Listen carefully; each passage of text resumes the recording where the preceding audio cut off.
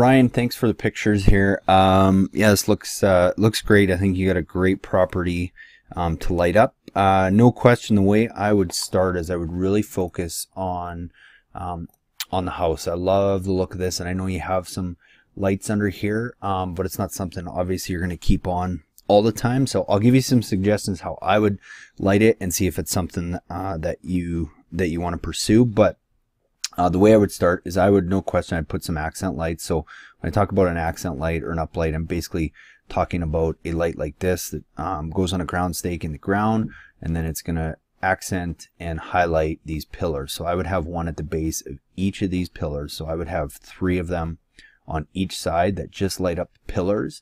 Um, and then what I would probably do is, uh, because you have a walkway, especially out here, I would try and maybe put some path lights uh, in between those pillars, but on this side, closer to the sidewalk. So one there, one there, and one there.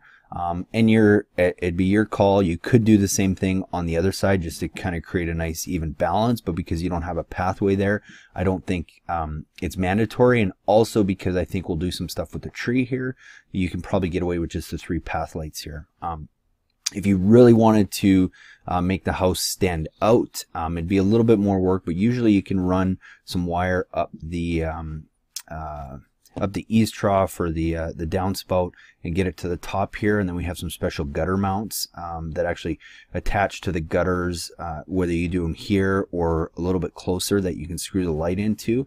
And I would probably try and use some accent lights here as well. Um, I would at least at minimum do probably two in the middle here on both sides of the window uh, or uh, or even if you wanted to do uh, all four. So kind of one that shines up here here here and here. Um, that could be an option. It's a little bit more work um, and you'd have to run some wire up here uh, but very doable. And usually what we do is you know just kind of hide the wire in the gutter. Um, the connections are all waterproof and stuff so it's not going to affect uh, that at all. But that would be how I would light the house. But at, at bare minimum, I would definitely do these uh, six pillars and then I would have the pathway lighting on this side. And then to get to these, uh, yeah, I just, I think that would just make them pop so much and the path lights here would really add some extra light. Um, and you might want to do it there because that path light's going to shed a little bit of light here and then this is going to shed a little bit of light here and here and then further on the corners. So um, that's what I would do there. And then getting into the, the big oaks, I love um, the giant oaks you have on the property.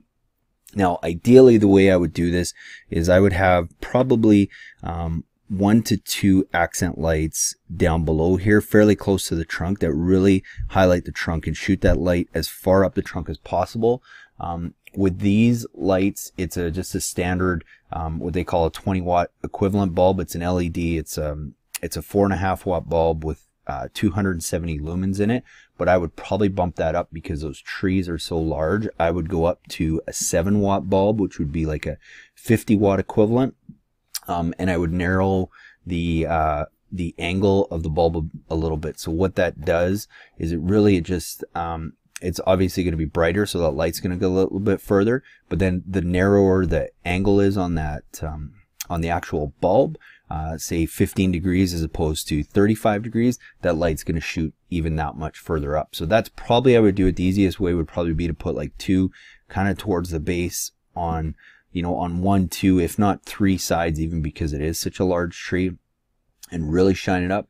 The other option, um, it depends. They're pretty tall trees and how big a ladder and everything you have, but you could put one or two down at the base and then actually try and mount one up in the crook. So you'd have to obviously run some wire up the tree, which not everybody loves to do because they don't love to see the wire. Um, uh, just from experience, usually once it's up there, you don't even really notice it. But if you wanted to, probably throwing one or two in the uh, crook of the branches here to get the foliage would be another option. But if you want to keep it simple, two to three at the base uh, of every tree. The larger the tree, you know, maybe the more lights. If they're a little bit smaller and they have a little bit bigger canopy, like maybe some of these, this you might be able to get away with two because it's going to capture more light in that canopy. But these ones that are really tall, or especially this front one, um, you may want to consider three uh, up and accent lights on that one and we would just increase the intensity. So I'll send you a price based on those suggestions with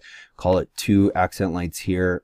I, will do two accent lights on all the oak trees um, with the brighter intensity and narrower angle beams on the bulbs as well as everything I talked about on the house uh, just so at least gives you a ballpark of what to go or uh, what you're looking at. And then from there we can kind of take some lights out or add some or change some things but at least it'll give you a good starting point. If you have any other questions by all means just shoot me another email and we'll go from there. All right. Thanks Ryan. Thanks again for watching guys as we show you how to easily install low voltage landscape lighting. So there's various different lights you can look at. The most popular is easily the uplight, accent light, or bullet light, often used to highlight different trees and, and features in your yard. Another very popular light is a wash light, often used to highlight the fronts of homes and beautiful stonework. Uh, path and garden lighting is also very popular to use to light walkways and garden areas and plant material down below, as well as hardscape lighting, which is used in different kinds of hardscapes, as well as on fences and decks, and can also create some cool effects. And a great way to see what looks good is just to take a flashlight or, or any kind of light around at night, shine it on a few of those features, and really see what looks good and where you're going to position those lights. I strongly recommend looking at LED energy efficient bulbs for all of your landscape lighting. It saves on power and it lasts a long, long time. You see they only use 40 watts, 260 lumens is very bright, and they still have that warm white or warm white look that you would find in an incandescent fixture. And if you have an existing landscape lighting system that is incandescent, it's very easy to retrofit with LED bulbs. Again, just to save power and not have to be changing bulbs all the time. What we often recommend is go and find really good quality outdoor rated LED bulbs and then go find really good incandescent fixtures and just marry the two together retrofit your incandescent fixtures with really good quality LED bulbs and it'll help bring the cost down rather than going and buying a fully integrated LED fixture uh, which looks good and lasts a long time but they do cost a lot more than doing this and just finding a really good fixture and retrofitting it with a really good bulb. So once you know where you're going to put your lights and you have your lights picked out, the next step is to start placing your lights. So we've determined where they're going to go. Start by digging just a small hole and just preliminarily placing your lights. I recommend using a rubber mallet so that you can really pound those ground stakes in and give them some good stability. Screw your light in afterwards so you can really get it in there. Make sure everything's level. And then from there, you start laying out your wire once you got all your lights in place and be sure to leave extra wire at every fixture just to give yourself some wiggle room. Connecting the lights is quite simple. When you make your splice in your wire, you'll have a wire going in and a wire going out for each connection as well as your fixture wire and at every light you're going to have two of those connections. I recommend a good waterproof connection, either a, a gel-filled snap lock connector or these uh, gel-filled DBRY connectors that come in two parts that you have a moret that screws on and keeps the wires tight and then it fills the wire fills into a gel-filled tube that keeps the water out. So just be sure to make sure you're getting good waterproof connections that keep the wires free of the elements as well as keep them from pulling apart. The next step is selecting your transformer. Uh, very easy to do if you Look on any bulb that you purchase, it should give you the wattage, but if you have a four and a half watt bulb and you have 10 of those, that's going to give you 45 watts, which means you want to select a transformer that's just slightly bigger than that. And I recommend trying to find a transformer that has a photocell as well as a timer built into it for easy use. Uh, very easy to wire in your transformer. Depending on the transformer you have, it's generally going to have a common tap and a 12 volt tap. You just put one wire into each tap Screw them down tight. Mount your transformer close to your GFCI receptacle so that you can get power.